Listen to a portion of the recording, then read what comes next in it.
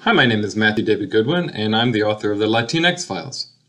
In this book, I explore the various ways that the space alien is depicted in science fiction written by US Latinas Latinos.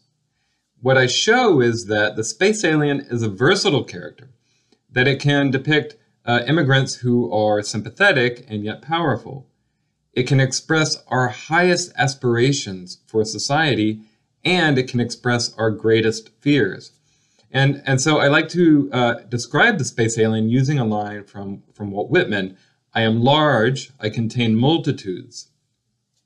So uh, thinking about the space alien as a multitude inspires us to uh, uh look at the new ways that Latinx authors are using it.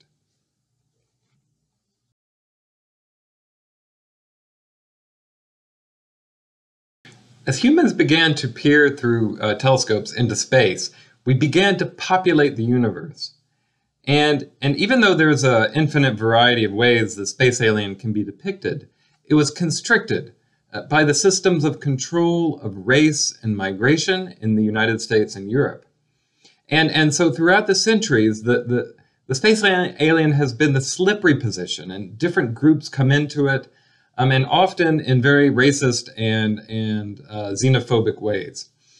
Um, so I wrote this book to, to explore the ways that Latinx authors are dealing with the space alien and, and how they're working with the, the, the tradition, but also working against that legacy.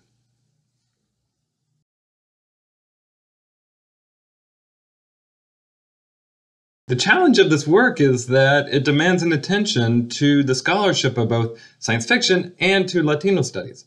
Uh, but, but the good news is that there's a g- growing recognition of the importance of diverse science fiction. And then in Latino studies, there's also a growing recognition that, that we need science fiction to talk about the future and to talk about technology.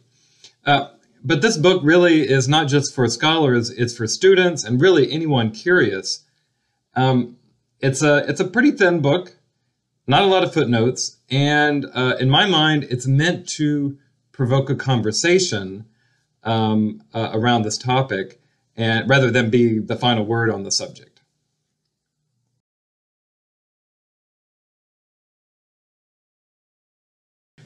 The cultural figure of the space alien has long been intertwined with uh, political discourse. And recently, there's uh, been an attempt to uh, take out the term alien from immigration law. This this is very interesting, um, and and part of the explanation is that there's been this sort of back and forth between uh, the figure uh, of the space alien and and the immigrant. So. Uh, originally, the term alien is, is meant stranger or foreigner. It's of ancient origin. Um, and when people began to write about space aliens, they didn't use that term. That only uh, uh, came later in the in the 20th century. Uh, however, as science fiction became more popular, the term alien uh, became more connected to that figure of the space alien. So now, if you call someone an alien, um, it has a kind of uh, dehumanizing effect. So it's like calling uh, uh, someone a space alien. So it's it's saying that they're not human. And actually, this is the, the specific reason that the administration gives for uh, uh, changing this particular ter uh, terminology.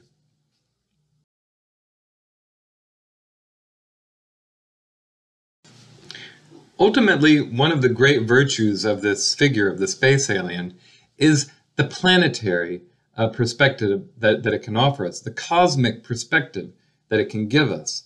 And, and through this perspective, we can imagine ourselves as children of Earth, rather than uh, fixing our identities through systems of control.